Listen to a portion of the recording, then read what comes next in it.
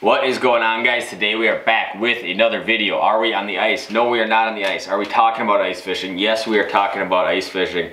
And uh, a lot of times when I do these videos, um, it's, it's about content that you guys want to see or, or questions that we get asked just kind of over and over and over repetitively, right? And uh, obviously this time of year, it's a lot of stuff about ice fishing, right? And uh, we are well into our ice season now. We've probably been at it for a couple of weeks. Hopefully you guys have been enjoying the content. I do appreciate you guys watching. And uh, please subscribe to this channel. It really helps me out a lot and hopefully it helps you guys a lot. Um, but yeah, what we're talking about today is one of the most common questions we've been getting asked, especially when we're doing these tip-up videos, is rigging on tip-ups, line on tip-ups, leaders on tip-ups, what kind of tip-ups, all this kind of stuff. And does it make a difference in how many fish you're going to catch? Absolutely, and tweaking small things kind of throughout the process, you know, helps, um, you know, catch more fish, kind of no matter what you're talking about, right? Whether that's tip-ups or open water trolling or graph setup or all these little things. Um, and, you know, experience will teach you a lot, obviously, um, but for those of you that are maybe new to ice fishing or just looking at kind of what I do when I'm rigging a lot of my tip-ups and what I'm using, um, this should be a great video for you guys. So, we're going to dig right into it. Um, there's two kinds of tip-ups I use. One mainly that I use, and that is your standard Beaver Dam tip-up, right? Why do I use them? Because they're the smoothest, best spool out there, right? Um, a lot of your cheaper tip-ups, more inexpensive tip-ups, um, they might have a plastic spool on there, and when they pull line out, it's much more herky-jerky. When you pick it up at a store, when you realize it, when it's 72 degrees inside of a, uh, a tackle shop, no, you probably won't. But when it starts getting out there, when you get out on the ice and it starts getting cold and all that kind of stuff, you're gonna see cheaper spools gum up and just get much more sticky and there's gonna be much more resistance. And you see it a lot, especially, I fish northern Wisconsin walleyes, which might be some of the most finicky fish in existence, I think, um, as I do it every day and I still struggle to catch them some days. But um, you want a spool that is very free, free floating, right? And uh, what I mean by that is let's say a fish comes up and grab it and starts swimming away. You don't want any resistance on that. You want that fish to feel like that is as natural as possible, right? Like he just got a free meal. And uh, a lot of times what you'll see with spools that gum up and are much stickier is the other fish come up and you'll get a lot of drops. And what I mean by that is you'll get a flag, you'll go over to it. You know, a lot of times when you, if you watch that underwater camera how these fish eat, a lot of times they're sitting here lethargic off the side and then it's a big short burst of, you know, maybe a foot or two feet. They eat that thing and then it's a slow paddle off most of the time, right? And when they're doing that slow paddle off, if they feel resistance, a lot of times they drop. So a lot of times um, you'll still get that flag, uh, but you'll probably get more drops. So that's why we use the beaver dams. The other kind I have is the circular round beaver dam. This is still the same beaver dam spool and everything like that. It's just in a different style of tip up. And the round tip up is meant to obviously insulate a hole. Um, and I just have a whole bunch of these you know, two tip ups. The standard beaver dam, which probably most of us are used to seeing, and then kind of the round style too. And uh, I don't really pick one, uh, you know, each day over the other one. Um, they also make, um, and I'll go ahead and link a lot of this stuff down below. They also make like a circular tip-up cover, which helps insulate that hole, keep ice out of your hole. And obviously you get there and you can use that with these ones. So I'll go ahead and link a lot of this stuff down below. But um, yeah, that's what I'm using for tip-ups and uh, what you guys will continue to see me using for tip-ups. Um, it's just a time-tested, time-proven, effective rig, that is for sure. But the main question we get asked is a lot about rigging tip-ups, what we're doing, and things like that. Now, for the main line on tip-up, you want something that number one sheds water, number two is soft on your hands, and it's thick enough where if you if you try to run like a 10-pound braid on a main tip-up line, every time you set the hook, you're gonna be cutting your fingers, right? It's gonna be incredibly difficult to do that. Um, so what I run, I run this Beaver Dam. This is 30 pound and this is just kind of your standard tip-up line. It sheds water and it's very soft, right? And it's kind of, it's, it's basically a braided line, um, but it's not like the braids you would use in the summer. You can see it's very thick, right? I don't know how well the camera's seeing that, maybe a little bit. It's very thick, so you can get a good grip on it and set the hook and, uh, you know, get a good idea how much tension's on there just by grabbing it like that. And this is what I use, and uh, it comes in 50 yard spools. You can go up to like 50 pound, I think, uh, but I run 30 on pretty much everything. And uh, very rarely, if I always, I always say it like this, um, to break 30 pound test mainline, you need to put 30 pounds of pressure on that fish, right? The fish's teeth will never be on this. So go, get, go to your garage, tie on like 30 pounds of cinder blocks or rocks, and see if you could pick it up. You cannot physically lift 30 pounds with a line like this. you're never gonna put over 30 pounds of line on something like this, right? On the leader, that matters a lot. You might be going over 30 pounds sometimes if you're fishing for like big toothy pike or stuff like that. And that is primarily due to their teeth, right? Uh, but the 30 pound line, I use that for everything. Walleyes, pike, a little bit everything. 50 yard spool, more than enough to fill up a beaver dam, right? So that's my main line. Now, where it starts to get a little bit interesting and a little bit different is when you start talking about rigging. You know, what are you using for hooks? What are you using for weight? What are you using for your line? And you key all of this stuff into what you're fishing for, right? I'm not gonna use the same rig if I'm tip up fishing for perch that I will for pike, right? And I switch that up quite a bit. So, the main thing that I fish with, obviously, for walleyes is, uh, or is I fish for walleyes with a lot of my tip ups, like I'm sure most of you two do too. Um, walleyes and pike primarily. And the number one way to rig up for walleyes um, will be with a smaller pound test fluorocarbon line.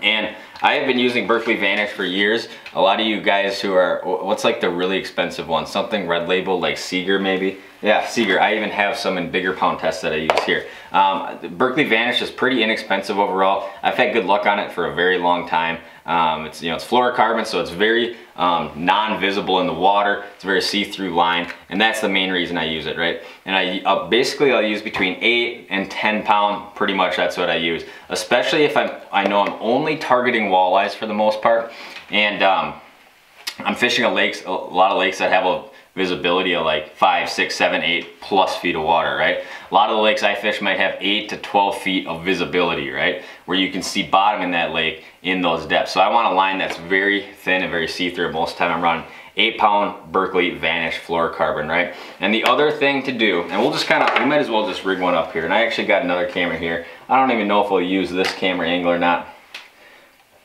but we'll get it going. So it's rolling right now. And uh, let's just rig one up here quick, right? And um, you know, if you're fishing a lot of bodies of water, like I said, that are clear, like the bodies of water that I am fishing, you're going to want to have a longer lead, right? Like a 12 inch lead just isn't gonna cut it. Because you want to get this main thick heavy tip up line, like you can see here, away from those fish, right? You don't want them to be seeing that portion of the line, right?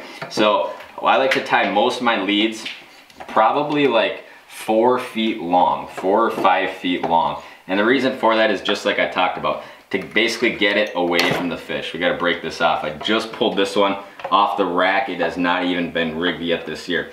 Um, but you wanna be getting this main line basically away from the fish, right? And that's why you go to these longer leads. And uh, I've been rigging them this way for years, and it is kind of the way which I have found most productive, right? So, got our 30 pound main line on here. I'm gonna obviously put it through the spool here. And then I'm just going down to a swivel. And if I'm walleye fishing, I like to be using a smaller swivel, right? And uh, something, swivels, and what I basically use, it's called an ant swivel, um, or a crane swivel is probably what most of you guys call them. It's very small, looks something just like that right there, right? And I'm gonna take that and I'm just gonna tie it on to my main line. This camera is kind of sort of picking it up a little bit. I'm gonna tie that onto my main line, right? Just like that right there. So that's tied onto my main line. Cut the tag off. Probably doesn't even matter that much. But yeah, cut the tag off. Now we got the, obviously the swivel. So I get it to focus maybe for me. Now we got the swivel on the main line here, right? Now I'm gonna take my eight pound fluorocarbon, my Berkley Vanish, and I'm just gonna tie that on to the swivel here. And then we'll pretty much be in business. And hooks, just like the line size, varies a lot depending on what you're fishing for, right? Somebody's probably wondering somewhere what kind of knot I tie. I go through the eye twice and I make a gap in my fingers. I think it's like called an improved clinch knot where you go through the eye twice, spin it up like five to seven times, go back through the double eye you made, wet the knot a little bit, cinch it tight, right? And uh, yeah, that's that. So now, like I said, I like to have about four feet of this, four or five feet of this, which is probably somewhere about there. The walleyes aren't gonna know if it's four feet, eight inches or five feet, um, as long as it's long enough to get that away from the fish, right? Now, hooks. This is, this is kind of an important part. And uh, I'll run a whole bunch of different kinds of hook, but you want to key it into the size bait you're using, right? You wouldn't use a super small number 12 treble hook um, if you're fishing big walleye suckers for big walleyes, right? Um, you just, they wouldn't hold the minnow well, the minnow would keep coming off, and it's just a, not a lot of hook for the size of minnow, right? So most of the time I'm running just kind of your standard walleye suckers or like your medium sized shiners, right? And my absolute favorite hook, which I rig up with, and I'll kind of show it to the small camera here, is these Mustad triple grips. And it's actually a crankbait hook, um, is I think what they were designed for. But basically this hook, if you can see it here, it's got uh, kind of a weird gap on it, right? It's almost like a really wide gap and then the point kind of comes back in. And they're incredibly sticky. Uh, Berkley uses a lot of this style hook um, on most of their crankbaits and it's a very good hook. And uh, you want a good gap and that is one reason why I use this. A treble hook with too tight of a gap won't hold the minnow and uh, in this scenario it would not hook the fish well. You want a wide gap because that fish is eating a pretty decent sized minnow, right? And uh, you gotta hope when you pull on that line that obviously the hook goes you know somewhere into him. So having a wider gap is absolutely key for this kind of presentation. And these are number eights, number eight uh, Mustad triple grips. And there we go, it's on the line, right? So we got four feet of fluorocarbon, number eight Mustad triple grip hook on there, right? And that is the hook that I do 99% of my walleye fishing with. Um, and then obviously we need some weight on there. And a lot of guys will kind of go back and forth in this kind of part. What do you use? You know, do you put an inline weight so it doesn't pinch the line? You know, what do you do there? I still use the standard just uh, split shot like that. I go with one of the bigger size split shots you can buy and I'll explain why. And another big deal here is what a lot of guys want to do is they want to get that weight way far away from the minnow. So I got the hook in this hand and the weight in this hand. They want to do something like this right here. The reason you don't want to do that, and you can watch this on your graph or your flasher a lot.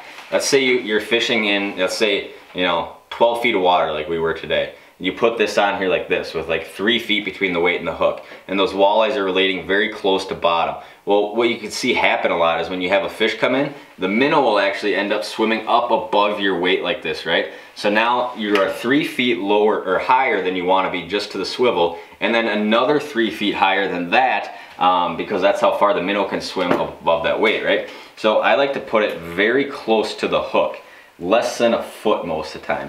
And most of the time I'll go like eight to 10 inches here, right? Somewhere about like that. I got the hook in this hand, this one here. And you, you probably honestly should not bite split shots.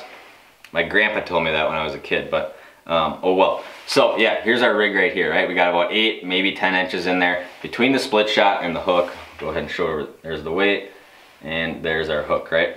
And the reason I like it basically pins them in the strike zone, right? So if this minnow, if a walleye comes in, let's say this is the bottom of the lake, he comes in and he's coming up to bite this, the minnow can only go to here, right? He can't go way up here out of the strike zone, especially in the winter when water temps are incredibly cold. You wanna pin that bait in the strike zone.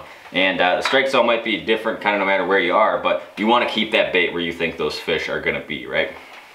So that's kind of the setup there. And uh, yeah, that's pretty much my standard walleye tip up setup right there. Now, one thing I will change, obviously if I'm on a body of water where maybe it's a lot of smaller fish or maybe it's late winter and fish are keyed in on smaller bait, like let's say a fathead or something like that. What I will put on then is a lot, or we were up at Red Lake doing this. I will put on these smaller octopus hooks and I like the ones that have a little bit of color on. I don't know why, I don't know if the fish do. In stain systems, I'd say they probably do a little bit, uh, but that's kind of the deal there. And I want to say that this is an what size is this? Man, what size is this? I'm not sure what size this is, but I want to say it's an 8 or a 10. In fact, I really want to say it's an 8 on that one right there. And I'll put on those. And I like those for fishing those smaller minnows. It's less bulky than treble. And one big tip, if you are going to be running, and you can do it on bigger minnows too if you upsize um, your, sing, your, your hook size too. But one thing I will say, let's say the tip of my finger here is the head of the minnow Right here is the head of the minnow and this is the tail of the minnow. You want to be hooking this thing like this right here. So the front of the hook is towards the head of the minnow. What you don't want to do is hook that minnow like this right here, where the tip of the hook is towards the back of the minnow. You don't want to do that. And the reason you want to hook it with the front tip of the hook towards the head of the minnow, so you want to, you, you would want to come through the minnow like this right here, is so that when that fish grabs that and swims away, most of the time they eat them head first. And when you set that hook, and he's got that minnow going down head first, the hook comes right out and into the fish. If you're tail first, if your minnow's sitting here like this, when you go to set, the hook's naturally gonna leverage like this and go either down into the minnow or it's gonna come out upside down, right? And you don't want that. You want that thing going right into the top of the minnow or the top of the fish's mouth. So uh, kind of a good tip there. And we were doing that on Red Lake, Red Lake catching a ton of fish that way. So that's kind of the two setups I use or to my two rigging systems. If I'm, you know, if I'm 99% sure what I'm doing that day is going walleye fishing. Now, we all do that kind of fishing that's like tip up fishing where it's like who knows what we might catch right? And uh, a lot of times you know for us in northern wisconsin northern minnesota if we're doing a lot of this you know whatever might bite situation where there's a high likelihood we're going to catch some pike in the mix which if a lot of times if we're fishing weeds which a lot of us are um, ends up happening because obviously the pike love the weeds as well and so do the walleyes and so do the bass and everything loves the weeds right? But in, scenarios where there's a high likelihood I'm going to end up catching a pike in the mix I will move up in pound test right? And most of the time what I go with is this 20 pound test Seaguar blue label right here. I've been running this for a bunch of years and I don't think they make that vanish in a really high size or they don't have it in store. so this is kind of what I went to going to here and it's a good mix. Can you really jaw jack a, a 20 pound pike on this? No, you can't. Can you set the hook and land a 20 pound pike on this? Much higher likelihood than the 8 pound? Yes. Is there a high likelihood you're going to catch walleyes on this? Yes, right? And you always want to be going with the most you can get away with. 20 pound, 25 pound is kind of the most I feel like I can really get away with when I'm in a scenario um, where I feel like I can catch walleyes too, right? We've all had that experience where we've been throwing a musky bait on a 100 pound line and um, caught a walleye, but that's not really like very likely most of the time, right? Um, so yeah, most of the time I'm doing this, I'm doing the same thing. You know, I'm cutting off a length of about four feet, and then I go up in my hook size, right?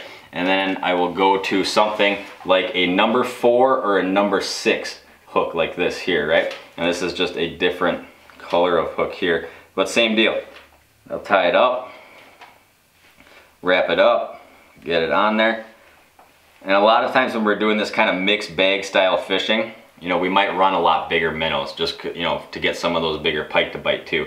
Um, but, you know, running this smaller pound test, this 20 pound fluorocarbon, we don't give up on the shot of catching walleyes too.